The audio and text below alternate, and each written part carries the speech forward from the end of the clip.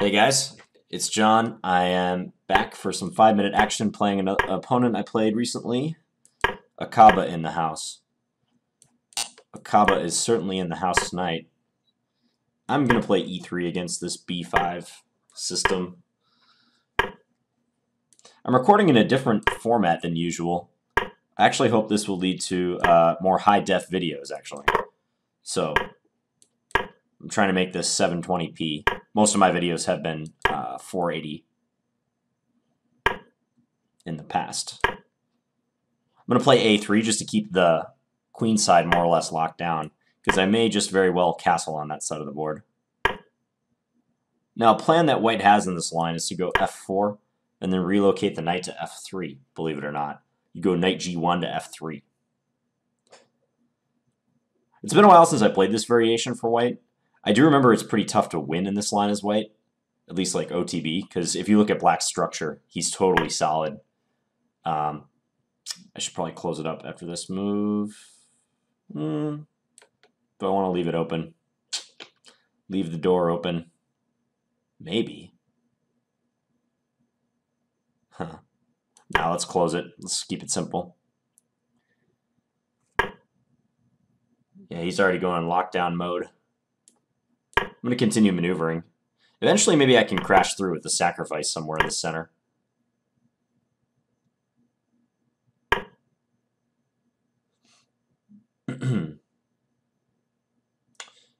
yeah, I'll just jump into e5 for now.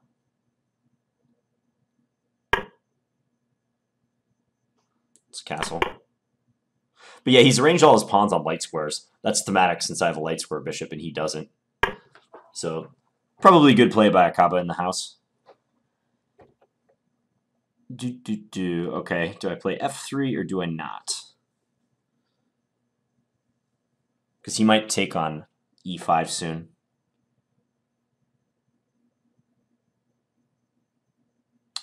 Kind of think f3 is not great for me.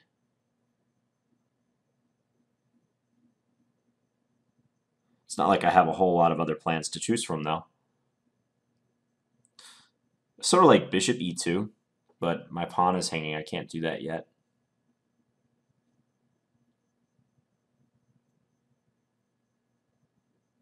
You know what? Let's just go here. I'm curious to see if he'll take my knight. Because I don't think he will for a while. If at all. He's more or less just going to sit still from the looks of it. Wow. So he doesn't even want to take my knight. He's not thinking about it whatsoever.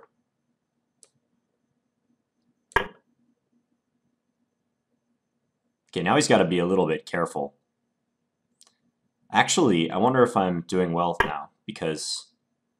Okay, never mind. I thought I had a little something. Just take aim at this knight again. If he ever plays knight g7, I think I can sack on g6 favorably.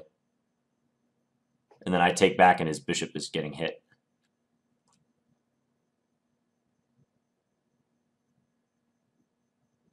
But the question now will be how to how do I improve my position? It looks nice. Everything looks nice. But if he just sits there and does nothing, what can I really do? Yeah, he can literally just do something like that.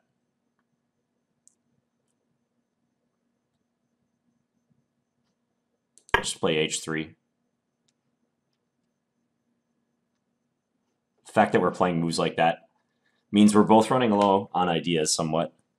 What if I like play f3 and then gradually like bring my bishop over? See, I could play f3, bishop e1, bishop h4, but that entails blocking out my light square bishop almost entirely. I don't think that's a good idea.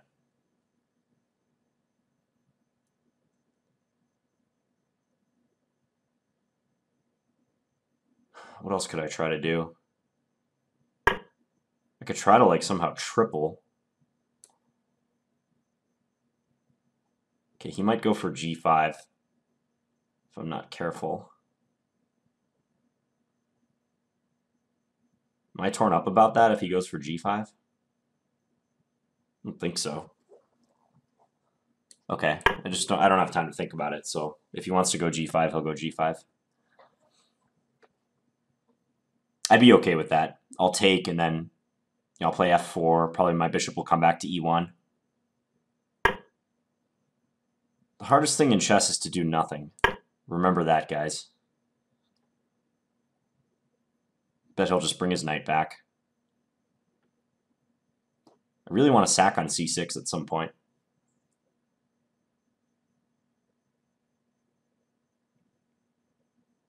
Really want to do it. There's so much tension.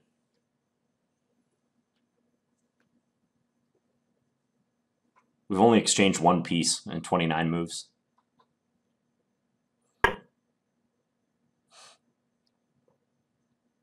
I think I'm going to play f3. Because I don't see my light square bishop ever doing anything with this business. I'm going to go f3 and put the bishop on h4. I'm going to see where that leads me. Hopefully somewhere promising. His pieces are all gummed up. Like, he can't play knight d7 because I can take on c6. So when I play bishop h4, with some ideas of bishop g5, maybe? I like the look of this. Okay, time is good.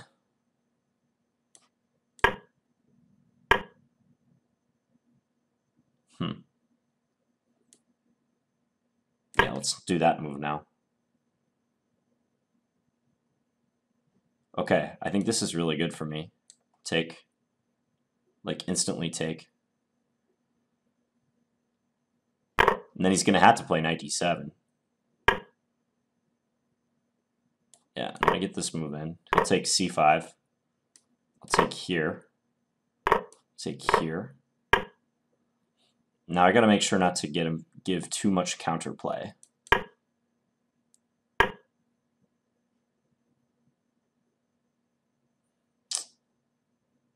Least I hope. Let's go back. Let's go back with that guy. I got your knight. Got your knight, Akaba.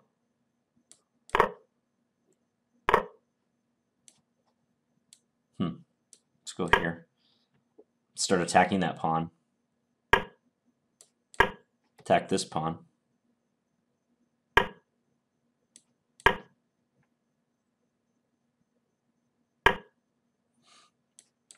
Go after that. Threaten mate. Check.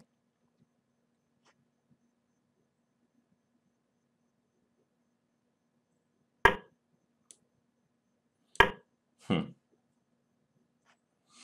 This is a really sharp game. I mean, really sharp game. I'm going to go over here so he can't sack or anything.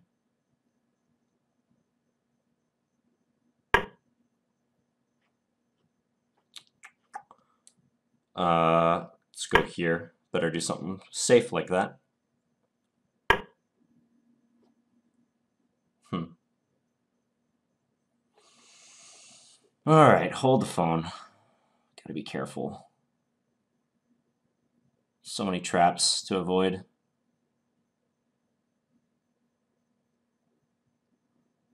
Hmm, hmm, hmm, hmm, hmm.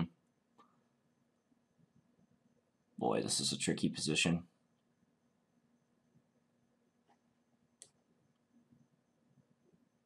I just got to get behind that. Check.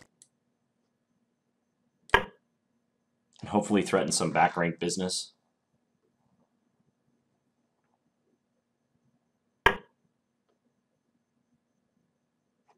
Yeah, he's threatening some nastiness.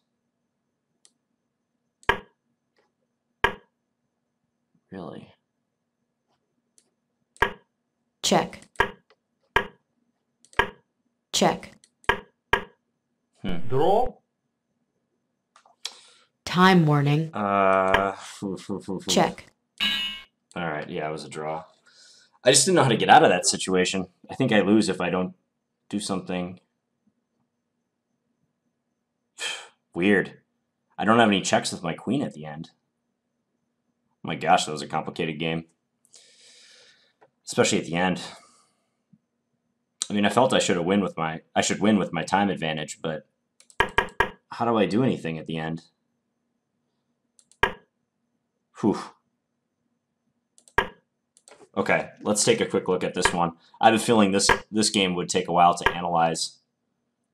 It was very closed in the middle game. Let's go to the position where I ended up playing, um, what was it, bishop h4? Like I played f3, and then the bishop came to h4. Let's check that out. Around about here.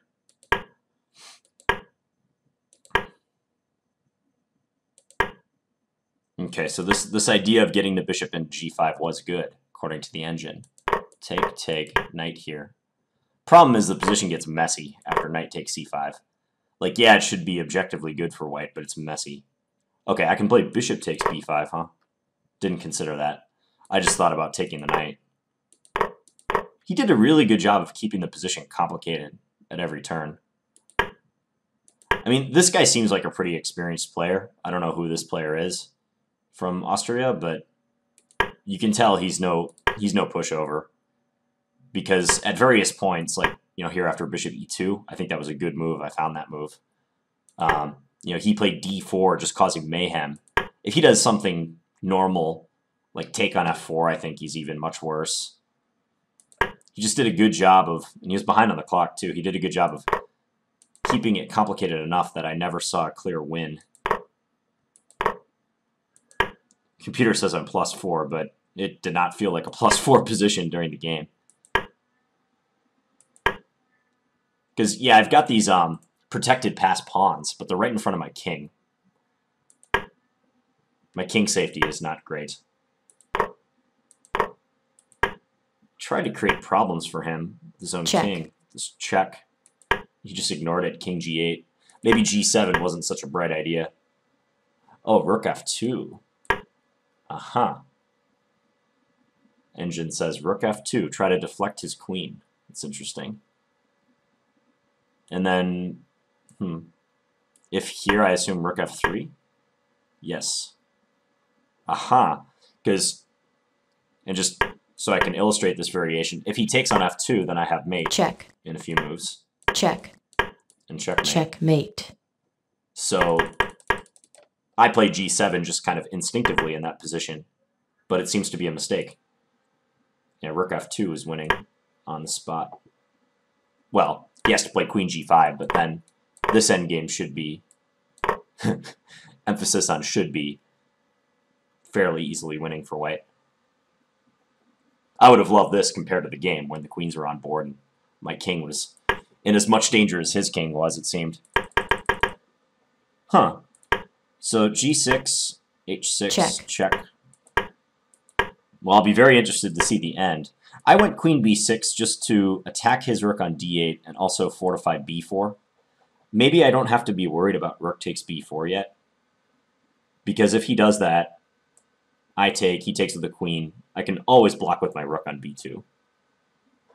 So maybe I shouldn't be overly concerned about that move. Um, so queen b6. I just couldn't figure out what to do here.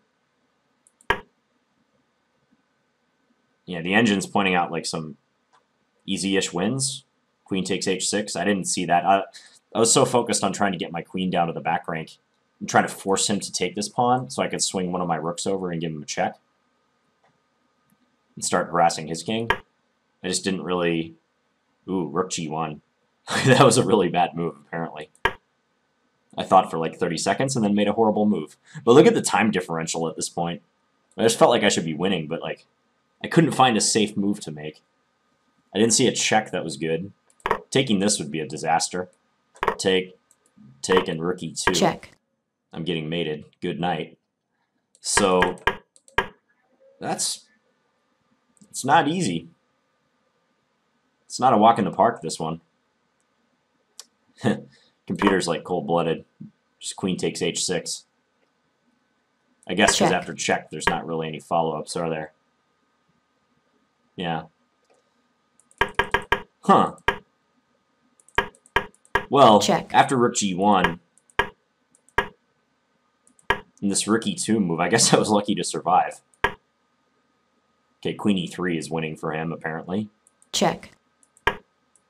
As played, yeah, draw is a fair result, I think. Check. This game was pretty even for most of it. Hmm, hmm, okay. Well, I'm going to skip the opening discussion and the middle game discussion because, like I said, it was just a, a really close position. This is an interesting line, though. It's kind of fun to play for both sides, really. I just have experience on it from the white side. But, hmm. Maybe a game to take a closer look at at some point, maybe in a couple days. I sometimes do that. I go back and look at my my games after a couple days, even these blitz games. All right, well, I hope you guys enjoyed that one. And please leave me any feedback in the comments as usual. Thanks, guys. Have a good one.